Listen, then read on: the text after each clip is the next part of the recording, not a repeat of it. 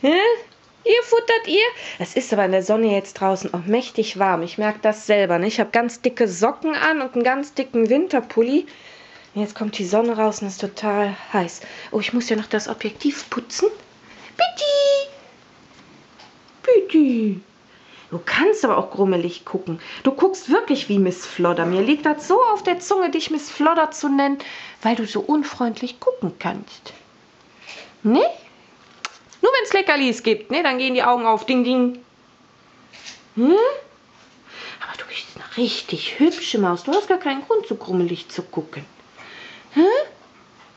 Mäuschen. Ne, normalerweise liegt sie ja. Ups. Ja, das genau, muss ich jetzt eben mal putzen. Kann man sonst nichts sehen. Hier liegt sie sonst eigentlich jetzt gerne, ne?